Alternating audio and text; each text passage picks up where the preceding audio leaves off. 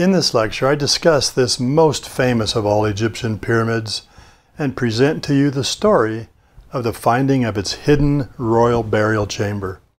A story that few people have actually spent the time to research, and to briefly touch on its greatest mystery of all, that is, its missing treasures.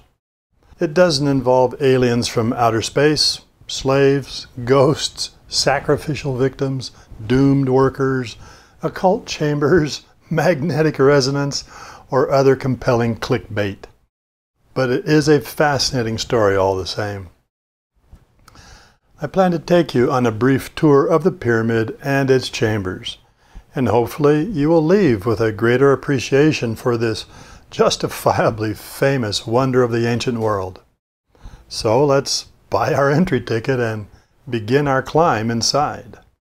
As we begin our exploration of the Great Pyramid, let's take a minute first to review our inventory of pyramids that we have studied so far.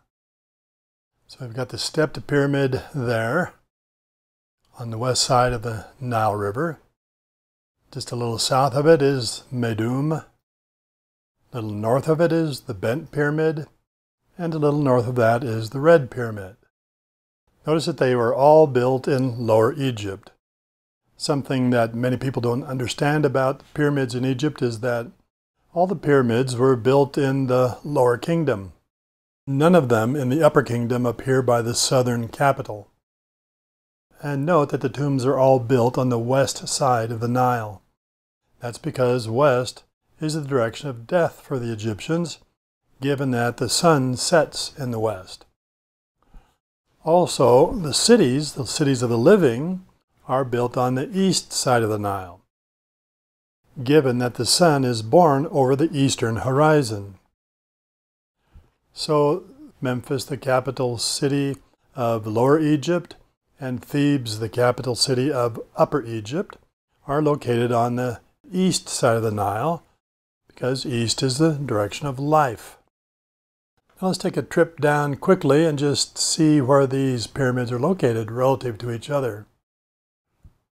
So there is Meidum, a little hard to see in Google Earth here, but it's interesting to see how they relate to each other in terms of geography. There's the Bent Pyramid, and not too far away is the Red Pyramid.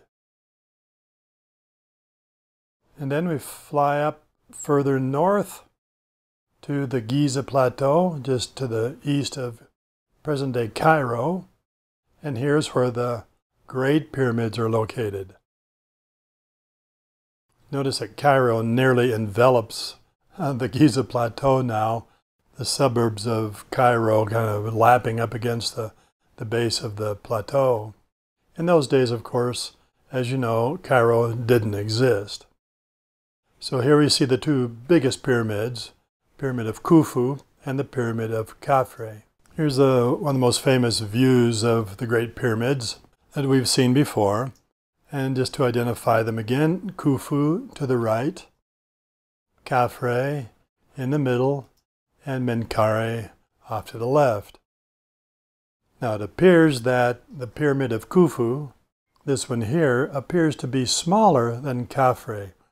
Khufu is actually the largest pyramid, but in this particular case it appears to be smaller simply because it is resting in a depression.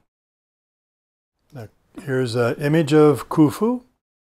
Uh, interesting to note that he was a son of Sneferu, so Mr. Pyramid, the builder of the Red Pyramid.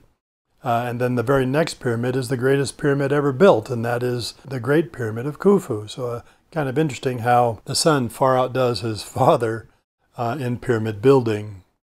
Notice uh, the sculpture here is rather interesting in that it's only about a four inch tall figurine made of ivory and very badly damaged, eroded as you can see here. Makes one wonder why this great pharaoh did not have more statues made. Of course he did, but none of them have survived, unfortunately, except for this very small one. So we've got Khufu, who is the father of this dynasty. Khafre is his son, and Menkaure his grandson.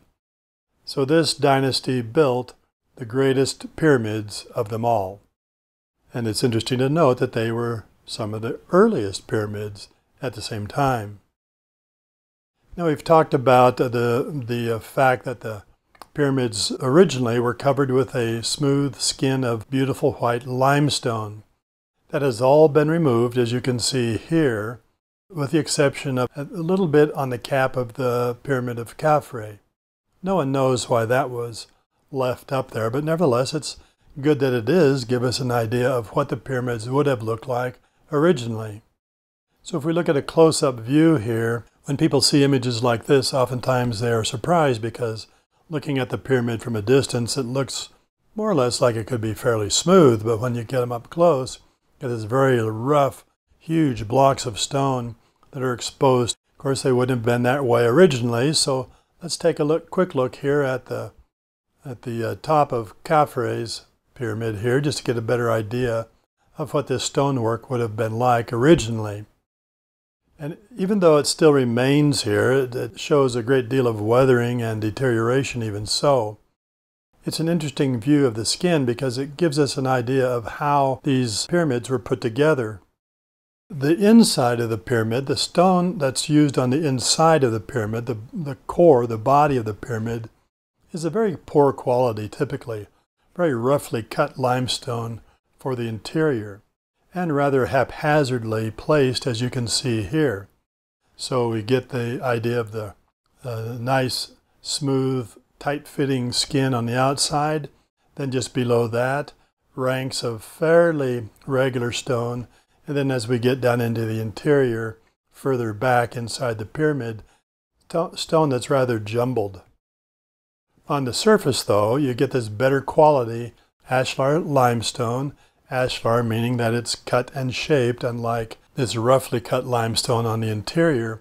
Then on top of this roughly laid courses of uh, limestone, we get a better quality ashlar limestone that is carefully laid in level courses.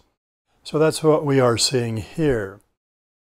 And so you can see these uh, courses very carefully laid and kept very level in order to make the pyramid as stable as possible. And then finally, a very high quality white ashlar limestone, very precisely fit, is uh, laid over the top. Like we saw here in my last lecture, very closely fit and precisely cut. Okay, so that would have covered all these pyramids originally. Now also this has of course been weathered by thousands of years of time so it no longer has the appearance that it once did.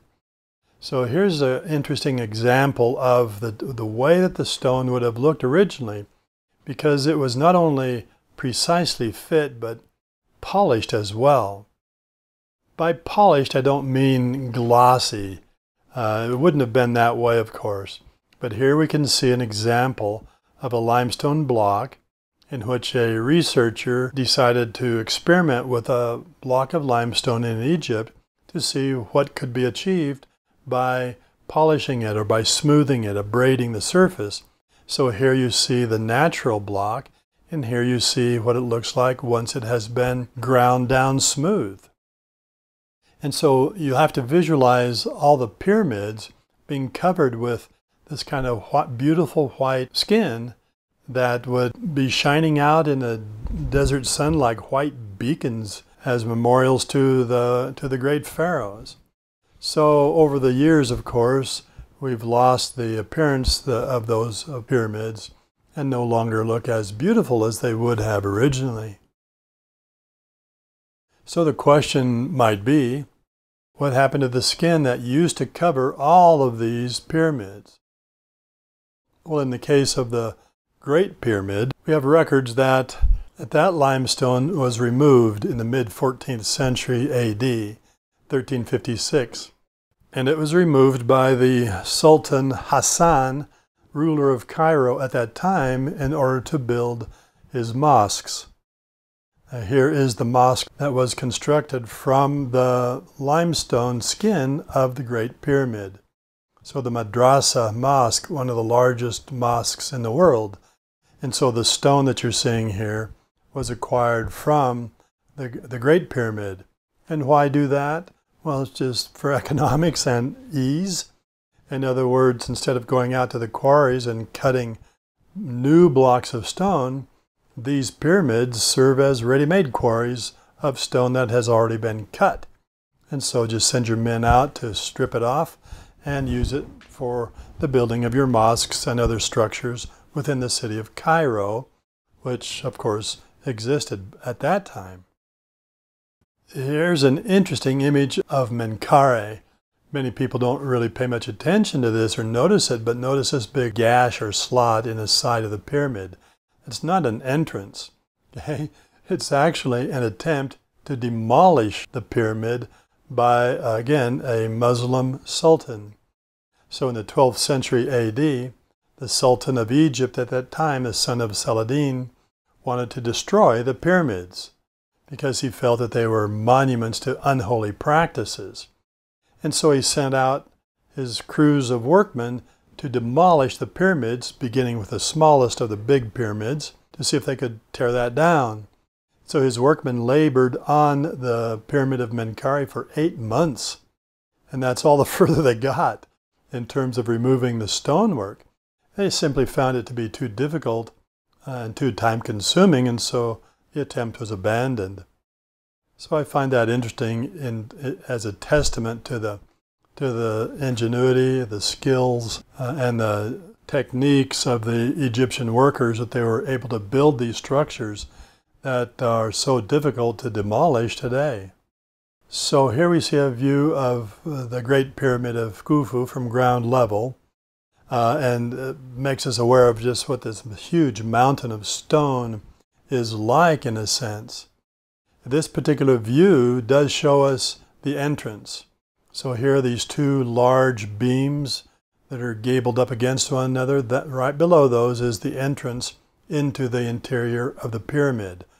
Now, of course, a stone has been removed from around it, so that's not the way that it would have looked originally, obviously. And again, you have to remember that the surface here would have been covered with that smooth skin.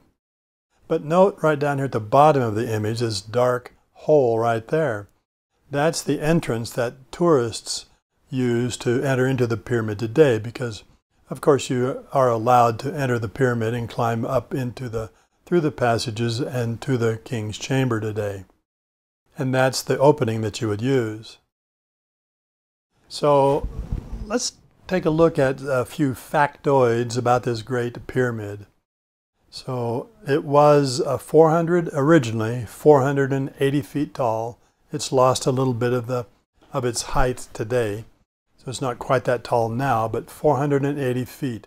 Tallest building in the world uh, until the Middle Ages when a medieval cathedral surpassed it with its bell tower, but 480 feet of stone.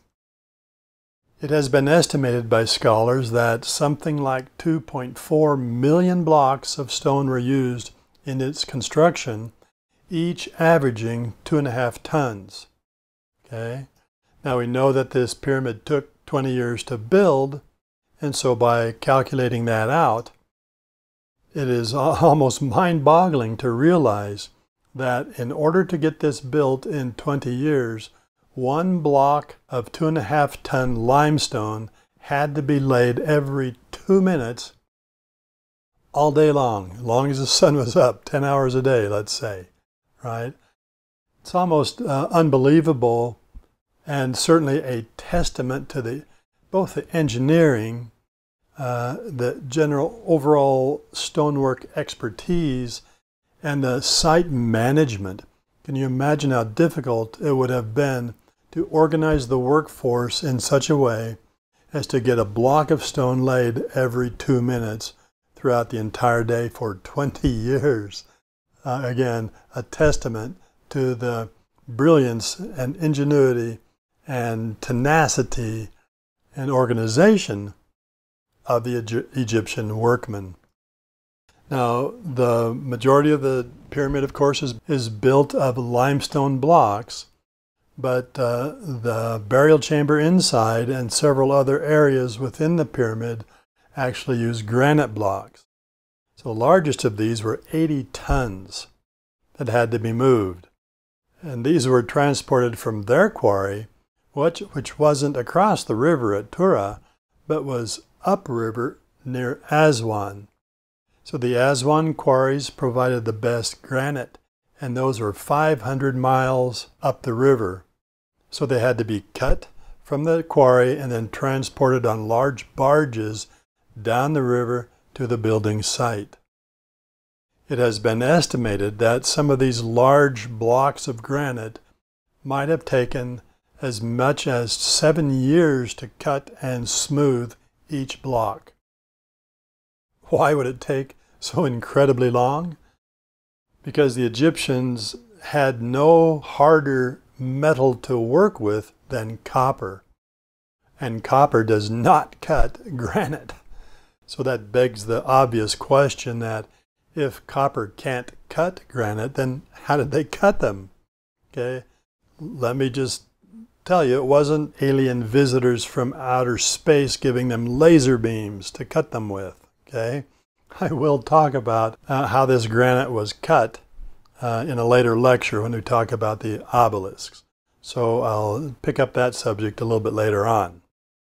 Okay, so let's do a fadeaway view here to show you one of the most unique features of the Great uh, Pyramid of Khufu, and that is atypically the tomb of the pharaoh is inside the pyramid, somewhere near the middle of the pyramid.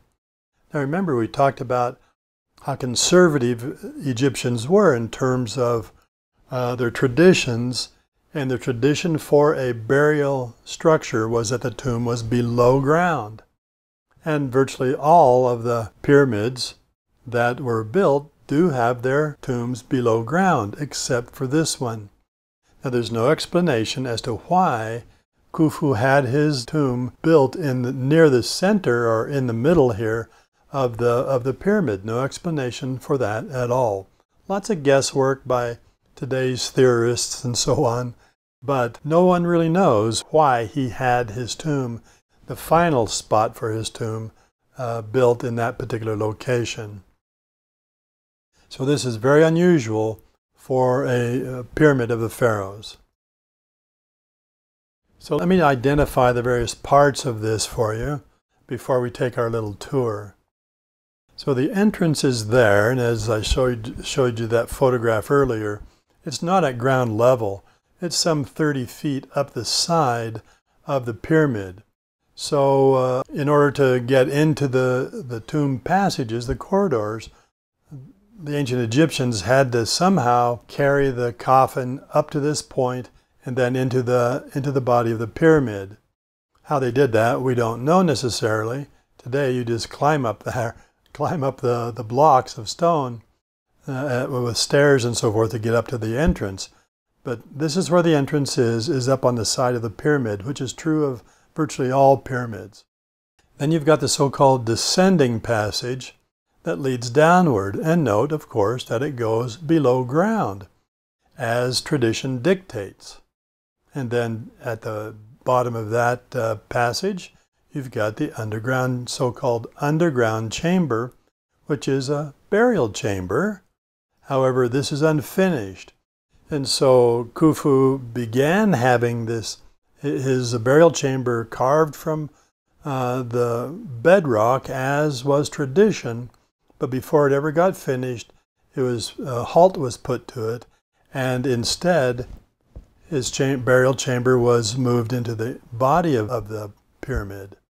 Okay, so the next feature is the so-called ascending passage, which uh, joins the descending passage right here, and then leads upward.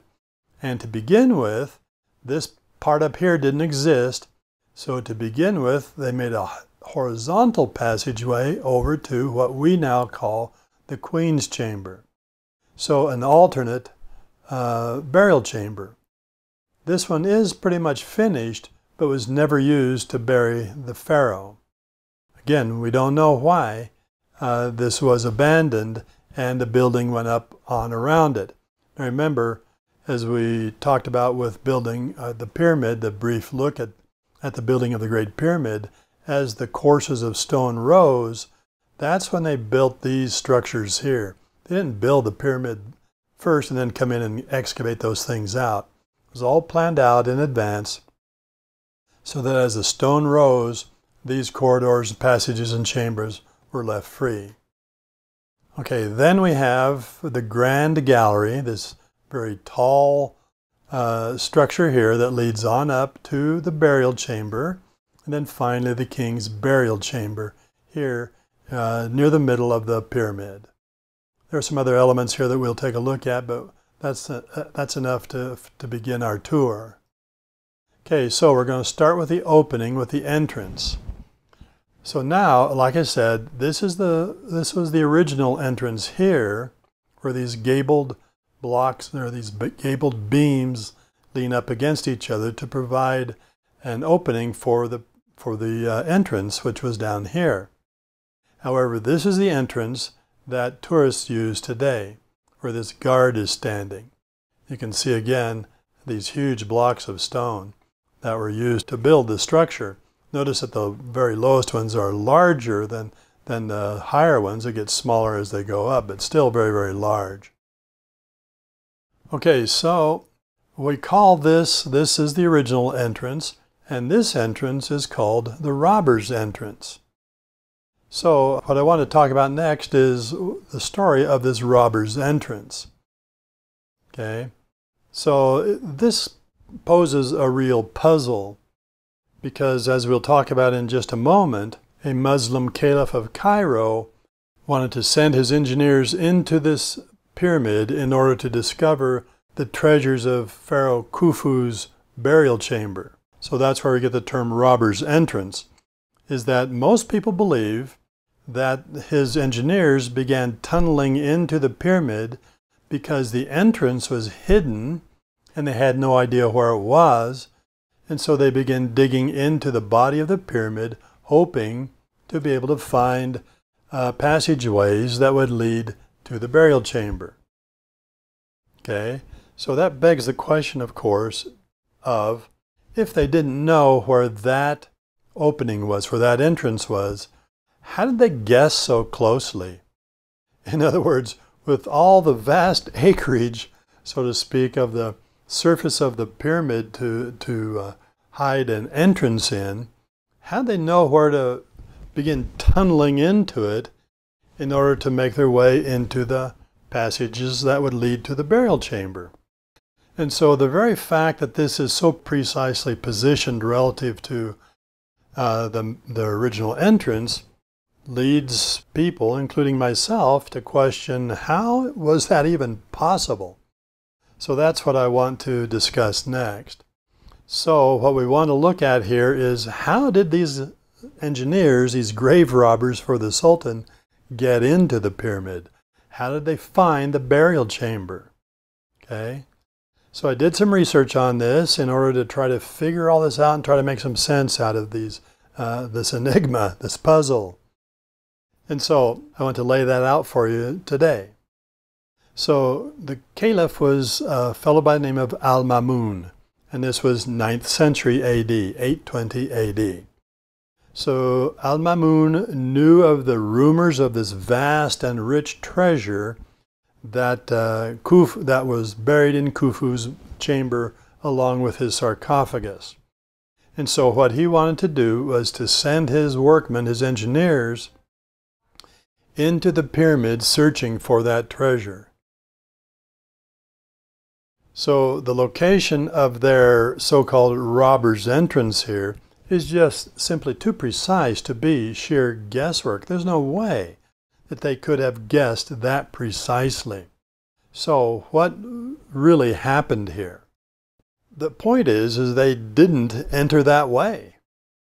They didn't dig a hole and tunnel it into the pyramid. They simply went through the doorway that was already there. Now, this would surprise most people, thinking that, well, he must have hidden that doorway in order to prevent grave robbers.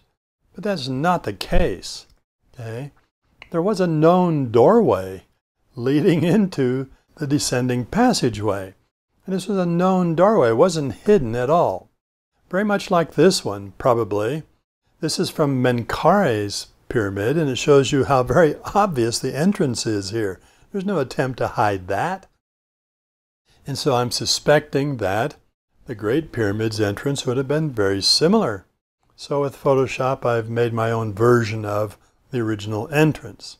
All right, just guessing here, but uh, trying to uh, create something that would have a nice, smooth masonry and an obvious doorway.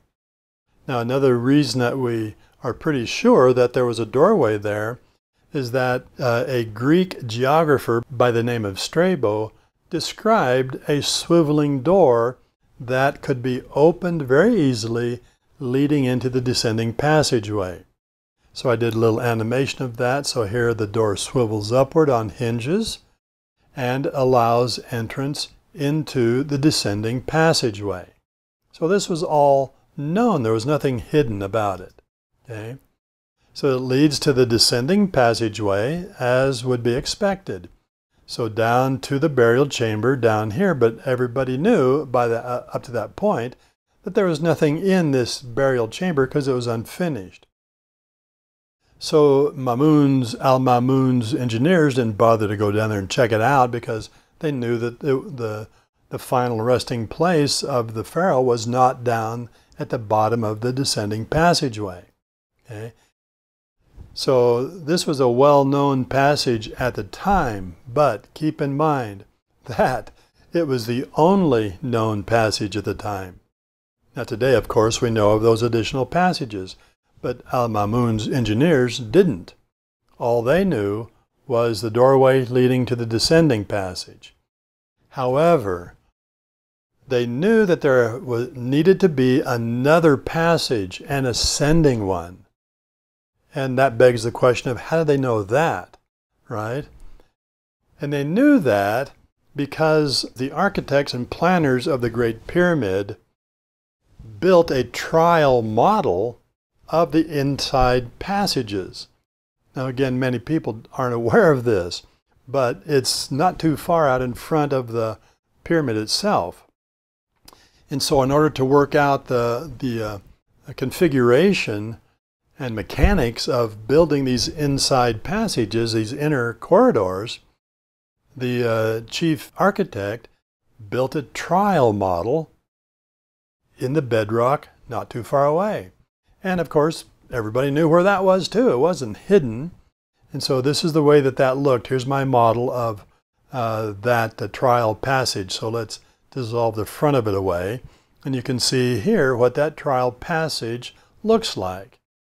So here's the desert floor, the bedrock, and you've got an entrance that leads down into the descending passage, right? So this represented the descending passage. But everyone knew that this also had an ascending passage here, okay? Because it was part of the trial model. And then as uh, at the top of that ascending passage was a horizontal passage. Okay, that's going to go ultimately to the queen's chamber, right? And then here's the opening into the desert floor. So Mamun's engineers knew that this configuration must be related to the configuration of passages within the body of the pyramid.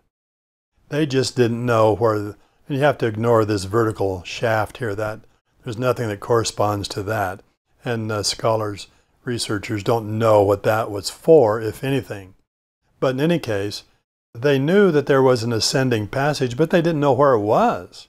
Okay, it could be anywhere along here, right? Because this isn't to scale, of course, so they didn't know where that ascending passage would be. So that was their challenge, was to try to find that ascending passage and where it joined with the descending passage. So this remained hidden from them, and that was the object of their search. It wasn't a question of finding the door, and then finding their way down to the burial chamber, that was all known already. So what they did is apparently, and we don't know exactly because they didn't record it, but it would make some sense that knowing that there was an opening on the ceiling of the descending passage, perhaps by simply testing the ceiling stones, tapping on those stones, they were able to discover a capstone. Okay, so what I've done here is to uh, use Photoshop to create a capstone here. and that perhaps because it sounded differently when they were tapping on it, you see, they were able to, to discern that there was a capstone of some type right here. So they removed that. Okay?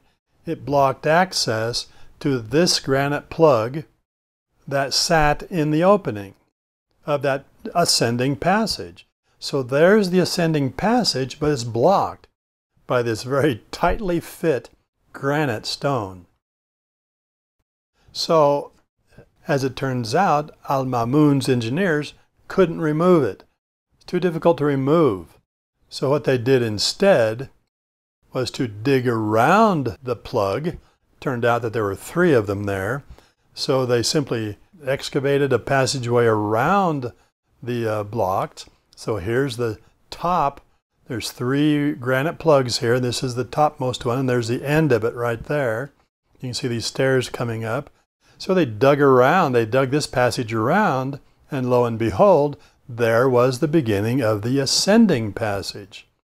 So they were able to discover where the ascending passage was by doing that, and then they went ahead and climbed on up to the burial chamber and investigated it. Not much to their disappointment, as many of you may already know, there was nothing in it except a sarcophagus. We'll talk about that a little bit more in a bit. But as they reported, there was nothing in the burial chamber. So then they exited the pyramid. Now, it is at this point that the, the uh, robbers' tunnel was created. But why, nobody knows for sure. The speculation is, is that they did find something in there, in the burial chamber, that was too long to negotiate the corner that you see right here. Couldn't negotiate the corner. Uh, and so, in order to get that thing out, whatever it was, and nobody has any clue as to what it might have been, but perhaps something like the lid of the sarcophagus, maybe, because as you'll see in a minute, the sarcophagus doesn't have a lid uh, any longer.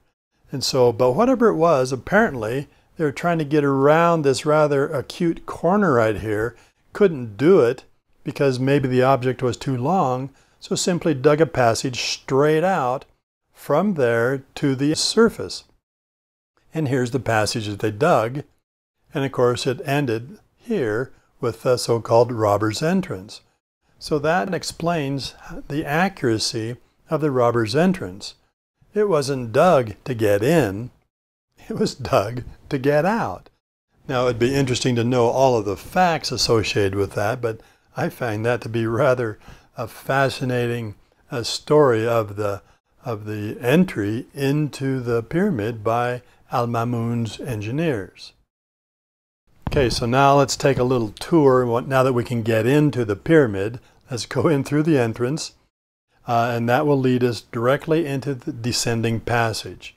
And this is an image of the descending passage. Now, this may seem a little surprising to, to you because notice the, the tourist here that's going down the, the, the descending passage. This, is, this passage is only about four feet tall. So therefore, very, very difficult to climb down and back up again. Of course, originally it would have just been a smooth ramp, but now I've got, got wooden stairs in there now, so tourists can go up and down to visit this uh, underground passage if you so desire. All right, so one of the things that is most catches most tourists off guard is the fact that these passages, once you get to this point, these passages are very, very low. So that's the descending passage. Then here we see the underground chamber, and you can see that it is unfinished. Didn't get very far in terms of carving that out before the pharaoh had the engineer stop working on it and begin build, working on the tombs inside the pyramid instead.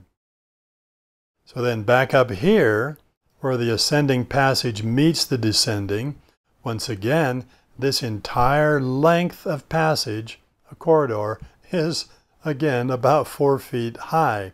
So in order to climb those steps, it's quite challenging to tell you the truth. You have to kind of double over, obviously, and crouch and climb up those steps. Uh, I can tell you from, uh, from experience that by the time you get to this point where you can stand up again, your thighs are pretty well exercised and burning. So in any case, that's the ascending passage. Okay, then at that point, uh, the engineers made this horizontal passage leading over to the so-called Queen's Chamber. So if we look at the Queen's Chamber, it, as you can see, is fairly finished. Now I stuck a little Egyptian guard in there so that you could have some idea of uh, uh, the scale of this uh, corbelled arch that you see here and of the burial chamber.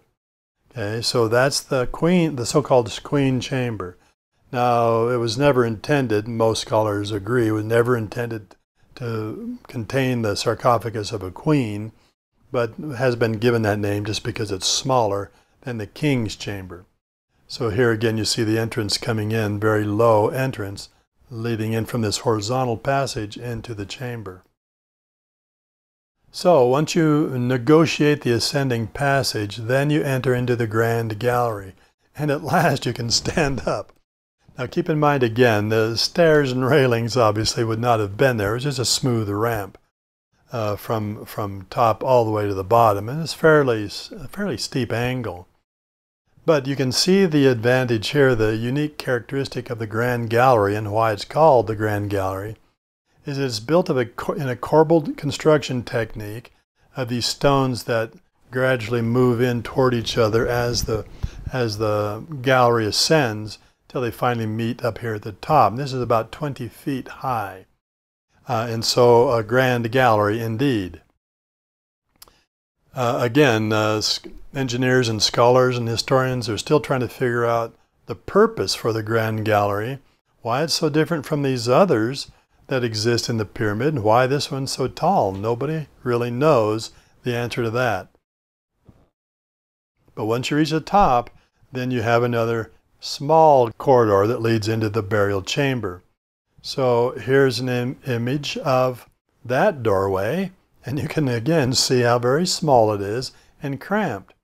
So you have to kind of duck walk or just crouch or crawl through that opening to get into the chamber. Then once you are in the chamber, then it's very expansive, 34 feet by 17 feet by 20 feet high. And so this is what greeted, undoubtedly, what greeted Al-Mamun's men once they came in through the doorway. And that entrance is right over here just outside the, this right-hand corner of the, of the photograph. Uh, everything that you see in here is granite. So you can see granite blocks uh, that are made for the floor, the ceiling, and the walls. Everything is granite. So remember, all of that granite was brought 500 miles downstream to the building site from the quarries at Aswan.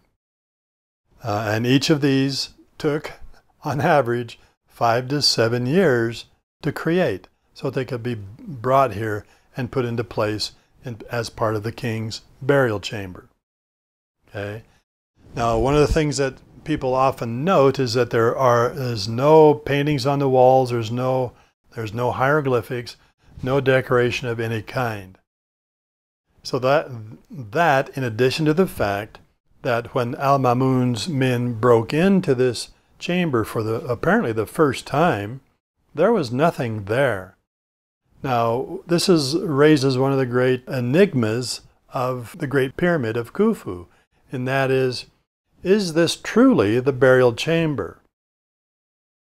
Because according to Al-Mamun's men, nothing was in here, and yet when archaeologists have opened up other tombs for the Egyptian uh, pharaohs, even though they had been looted of their treasures, the the looters didn't take everything, didn't empty the chamber, right? They left behind all kinds of debris and shambles.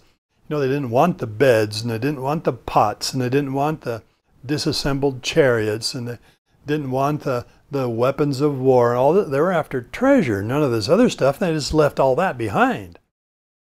And so, in the modern era, when archaeologists enter or discover or explore a pharaonic tomb, there's usually stuff that's been left behind there unless it had some value to the ancient peoples. But in the case of Khufu's burial chamber, perfectly bare. Now that has led some people, as they say, to speculate that maybe this wasn't the burial chamber at all. I mean, he did change his mind two times and to come up with this uh, final resting place. Maybe he changed his mind a third time and has another chamber somewhere else within the pyramid that does contain his unrifled, unlooted uh, stores of treasure and his body and so on. That's the big speculation, and that's what everybody is searching to find out now, trying to find the answer to that. But quite frankly, one of the justifications for declaring that this was not a tomb is, is the lack of decoration. But that doesn't hold any water because in these early days, these tombs weren't decorated anyway. That happens much later in the Old Kingdom when you start to get hieroglyphics and carvings and paintings on the walls of the burial chambers. So the lack of decoration here is expected. However, what isn't expected is the sarcophagus here. So if we look at the sarcophagus up closer, okay, you can see that it has been damaged. A corner of it has been broken off. Most scholars today believe that it was Al-Mamun's men that broke that corner off. Perhaps it was in an attempt to get the heavy sarcophagus lid off the top. So the assumption is, is that there was a lid there originally when the when the caliph's men broke into the chamber, there was a lid there, and they pried it off, and in doing so, broke a corner of the sarcophagus. Now, the lid is a mystery also because there's no evidence of that lid anywhere. The thing that's unusual about it is, first of all, if Mamun's men wanted to take it off, why did they want to do that? Well, of course, see inside the sarcophagus, right? See if the body of the king was there. It wasn't. The lid was there, but no body inside. But maybe there was something special about the lid. I don't know. But the point here is that was that the object that they needed to, to excavate that straight tunnel out to the robber's entrance? Is that the object that they were taking out? Possibly it was that lid or something else. If it wasn't that, then the other possibility as to what happened to the lid was that it was broken up so that it could be taken out through those tiny little corridors uh, to outside. Why would they want to do that? And why would they need to dig that straight passage to the exterior? I, who knows? Uh, the, the questions remain. The questions still, uh, there are more questions than there are answers when it comes to the, to the burial chamber of uh, the pharaoh Khufu. Why couldn't they just leave some information behind somewhere to help us understand this stuff?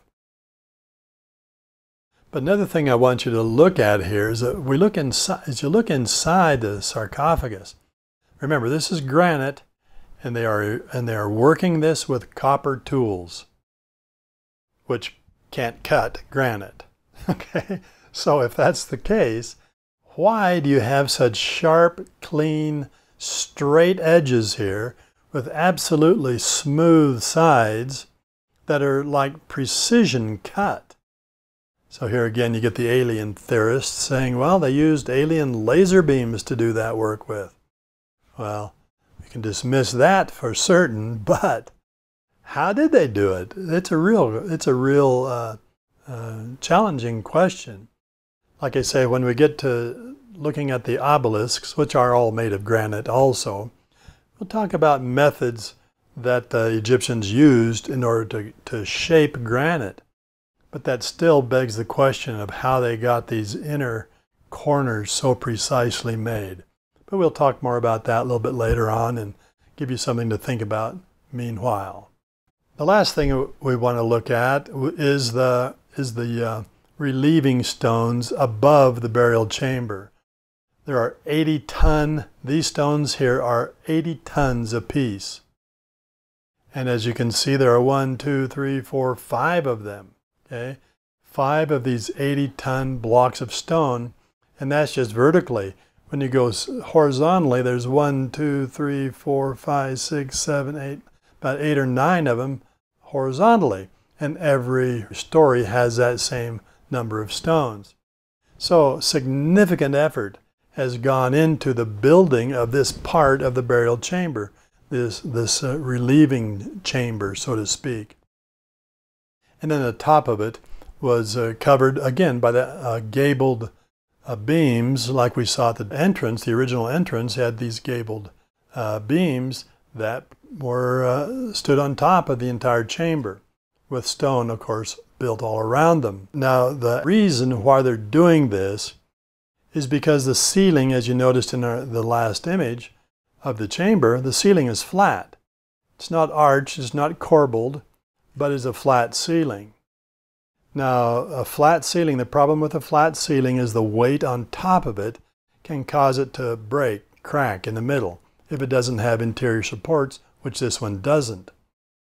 So, how does the engineer, how did the architect provide for what was necessary to keep them from cracking from the weight of the stone above?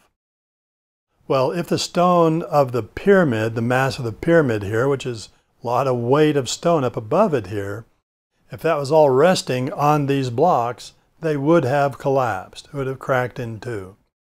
But that's what these relieving stones are for. 2,100 tons of granite. And the gabled design of the roof here is to help relieve the pressure on the granite beams of the ceiling. But one of the questions is, is why, if, if that's the case, why do you need so many layers? Why not just take that gabled structure and put it right down here over the top of this beam or maybe over the top of that one, but why so many? Well, it's an interesting question that, uh, again, engineers try to resolve and they think they have a pretty good uh, idea of why this was done.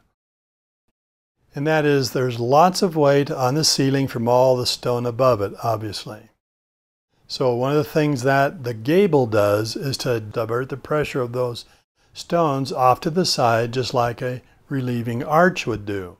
Okay, so the weight's coming down, hits the top of the gable here, and then is the weight is diverted to either side of the burial chamber, just like an arch functionally.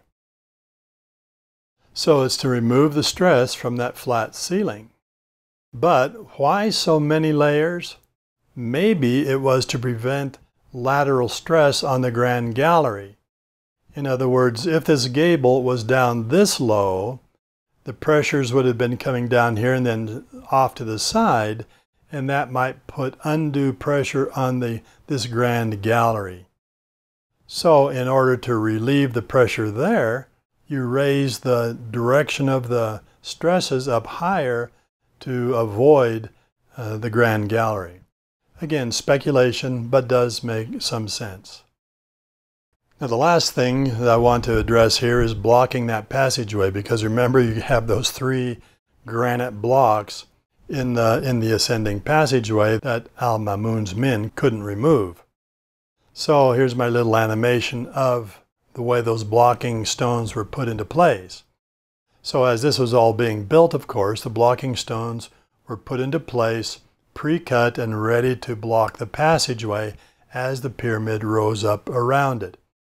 So then once everything was completed, then these stones were released from their position here and slid down the passageway to there, which is where Mamun's men found them. They couldn't get through them, so had to dig around them.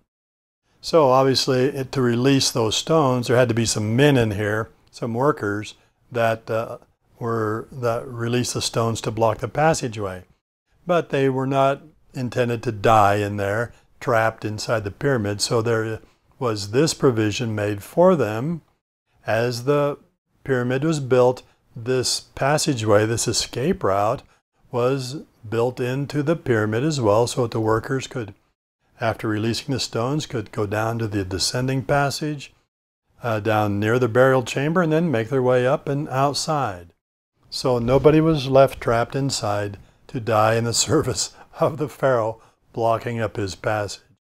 Now, there's still plenty of questions that remain to be resolved about all of this, but we'll probably never know the, the final answer uh, until uh, the Egyptian government allows more investigation of the pyramid through ultrasonic uh, ground penetrating, muon uh, penetrating kind of technologies, and so far they haven't allowed that. So it, there remains a, a, a, an intriguing question about the Pyramid of Khufu. Is his burial chamber still to be found somewhere else within the pyramid? And remember, I told you last lecture that Scan Pyramid project has found some voids in the pyramid, and perhaps those voids have something to do with this whole issue. But the Egyptian government has not given permission yet to follow further that track of investigation for whatever reason. Okay, so we'll finish it up here just by reminding you of the evolution of the pyramid shape uh, as an example of the power of tradition in Egyptian society. So the whole thing is inspired by the Ben-Ben ultimately. Okay, but the first stage, the earthen mound, that's not inspired by the Ben-Ben yet, but it's a burial pit below ground. And then from there we go to the mastaba. That is a formal version of that earthen mound with burial chamber below ground. And then that leads us to the third stage of the evolution, the stepped pyramid, a grandiose version of the stacked mastabas with their burial chamber underground, and then finally the fourth and last stage, the true pyramid, which is perhaps even from the, the stepped pyramid onward, is inspired by the Ben Ben. Again, speculation, but interesting speculation nevertheless.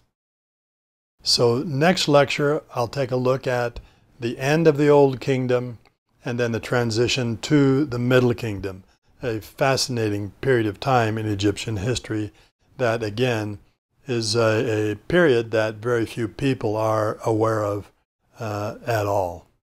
So I'll talk to you then.